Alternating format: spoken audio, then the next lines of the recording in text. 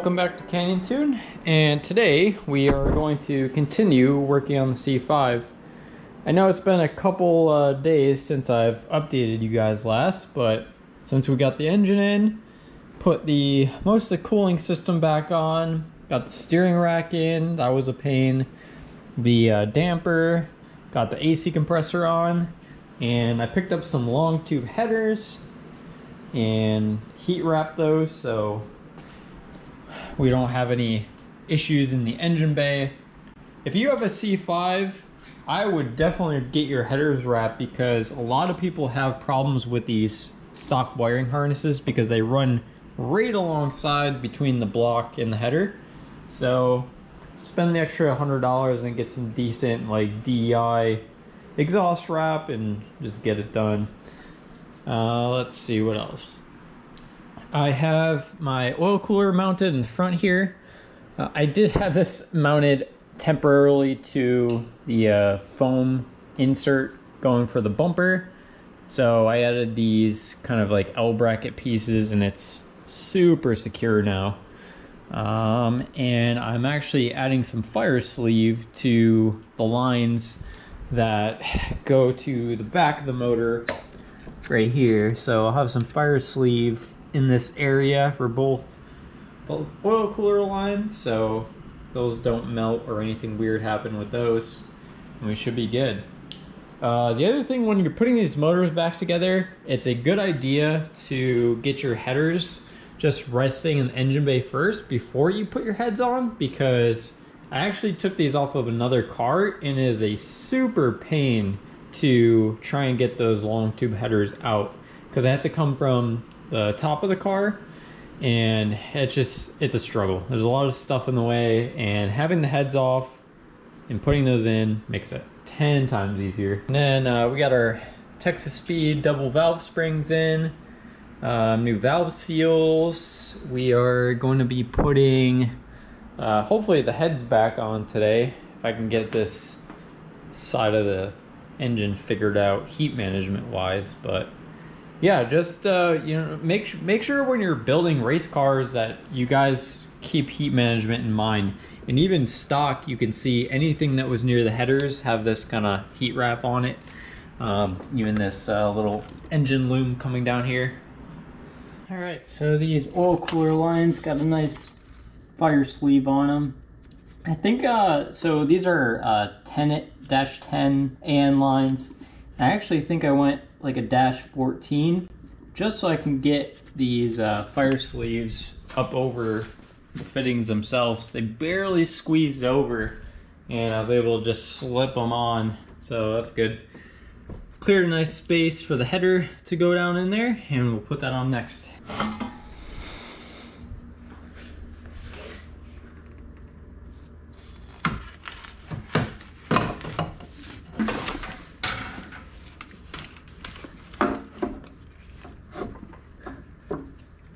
Next plan is we're gonna put our lifters in the lifter trays and then get our lifters in.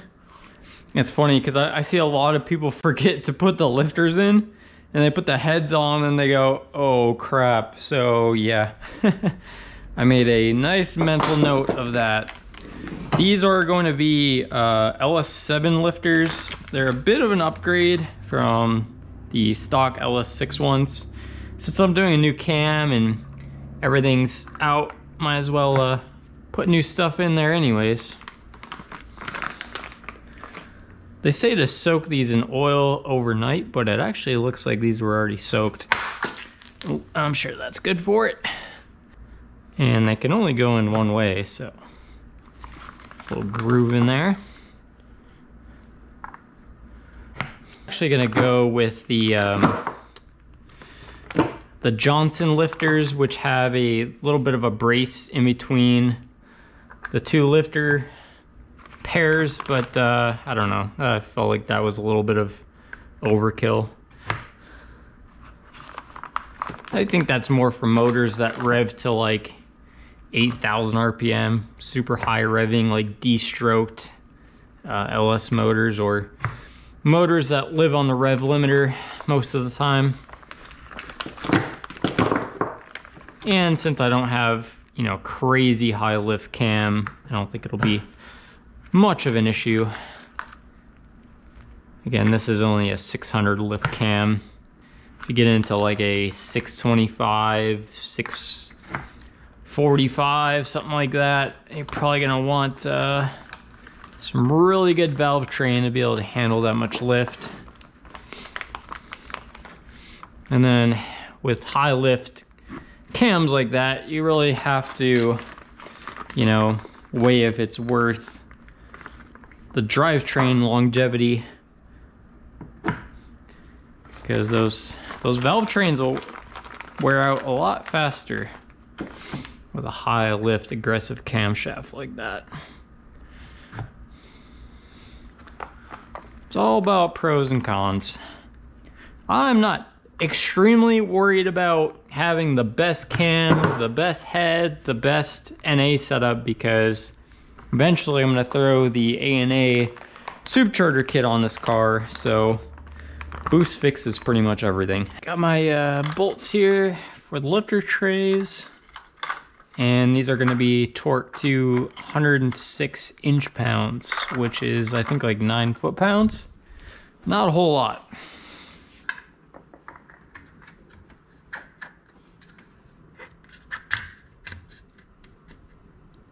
All right, I was tripping there for a second because I wasn't sure which way they went in, but apparently these notches have to face towards the pistons, and I really think they only go in one way, so.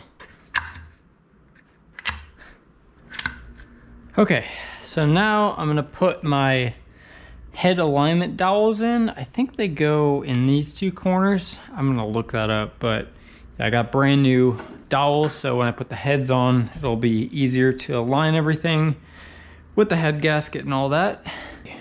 Block's all cleaned up, face of it, and we are going to put our head gaskets on. Got the alignment dowels in place. So, these are brand new, genuine LS2 head gaskets and the reason I went with these is the bore size is correct for my overbored 6.0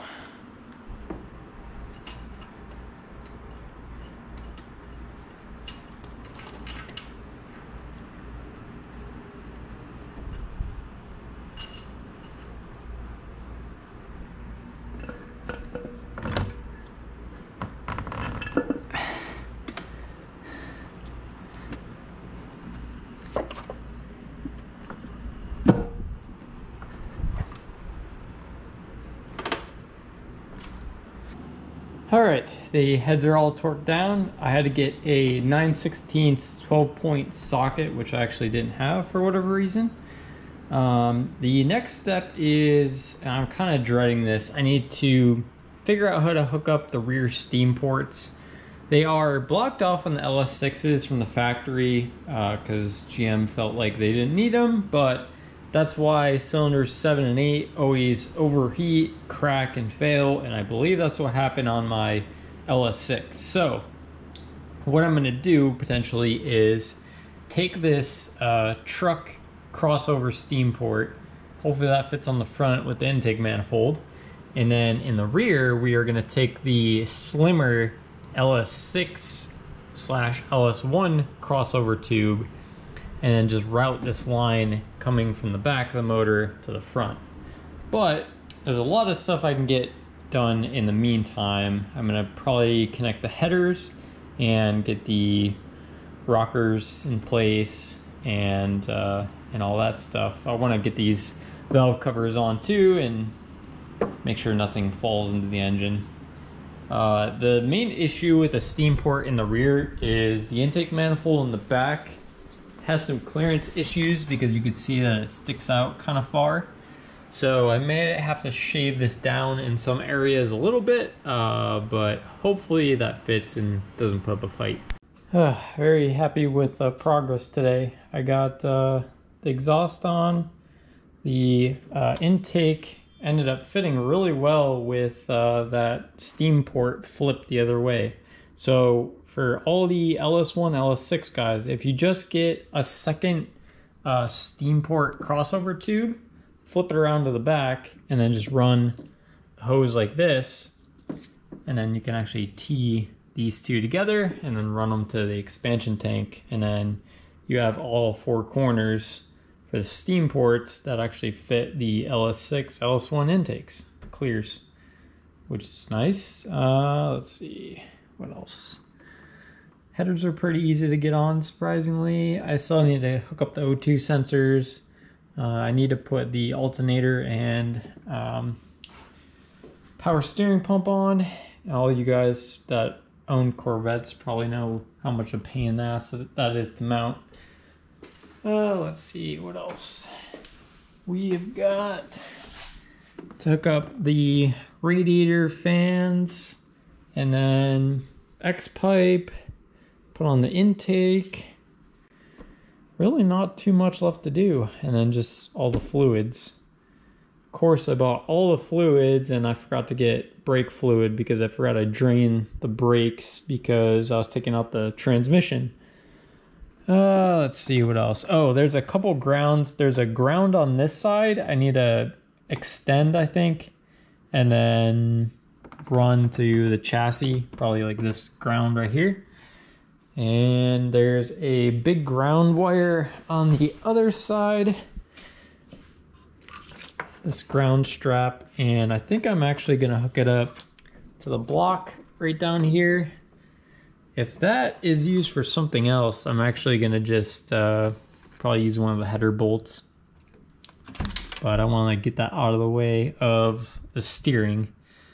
Um, I'm glad I wrapped the headers because, you know, there's these can melt spark plug wires. Um, there's a bunch of wiring down there that can melt. So yeah. And then I marked this off so I remember to tighten that bolt it's very important. what else? Yeah, that's pretty much it. I should be able to actually fire this up in the next episode. I don't know where the actual shutoff valve went, but uh, stock there's a shutoff valve. So there's a piece that goes to the intake here. There's a one-way valve that hooks up, and then it goes to I think a tank vent I actually just capped that off. I think that's all just emissions related and it's going to be deleted in the ECU. So, oh, the last thing before I go is I upgraded the injectors. These stock injectors, um, they are pretty much maxed out from the factory. So like adding anything to a normal, um, you know, smaller engine it, they're they're to be well beyond their uh, usability. So ended up getting some supercharged GXP injectors.